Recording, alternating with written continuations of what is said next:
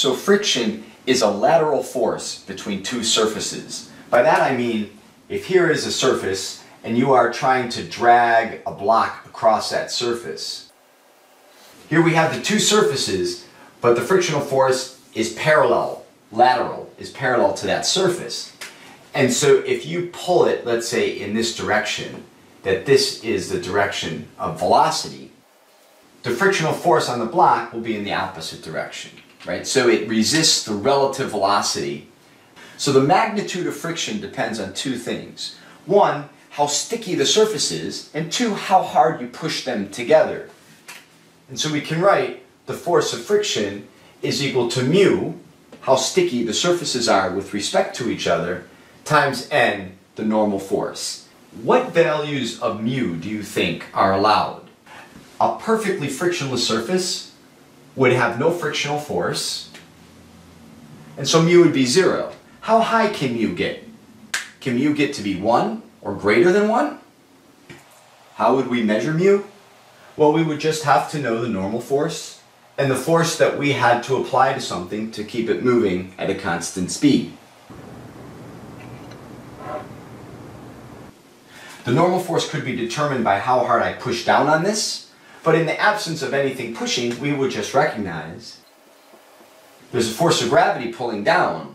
Is this accelerating downward at negative 10 meters per second squared? No. If it's in equilibrium, we know that the normal force must be equal and opposite.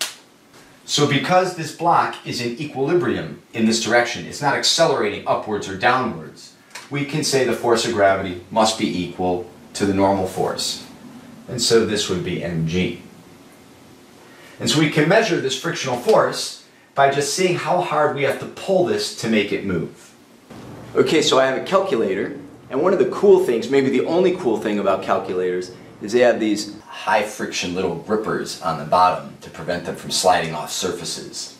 I can find out what the force of gravity is on this by suspending it from the spring balance. And then I can find out what is the necessary force to pull it across here.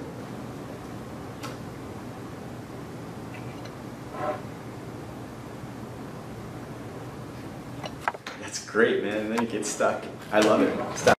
What you saw there was an abrupt increase in the coefficient of friction when the surfaces stop moving relative to each other. Because once the surfaces stop, the molecules nestle into each other and are more attractive. And you need greater force to break that static friction. And once you do, then the molecules are not so attracted to each other and the frictional force decreases.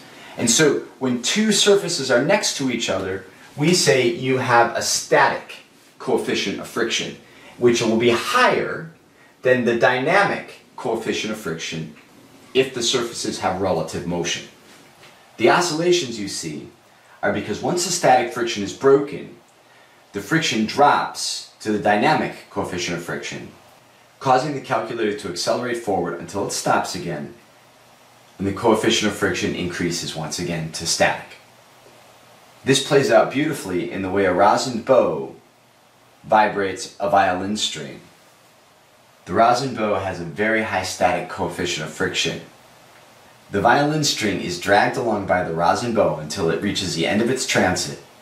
Once the static friction is broken, the string easily accelerates back and overshoots its equilibrium position until it's caught by the bow once again and is given another push. One more thing. This function is always true only for dynamic friction. For static friction, you have to say this. Why is that? Well, look, what if I stopped pulling? What would happen to the box? Would it accelerate off in that direction? No, it would just sit there in equilibrium because the frictional force would go to zero. So for static friction, the frictional force will only ever be as big as it needs to be to keep the block holding still. And so if you pull a little bit on it, with a little force, the frictional force will keep it static. If you pull harder, that frictional force will increase. If you pull too hard, then the frictional force will decrease because you've switched to dynamic friction as this thing begins accelerating in that direction.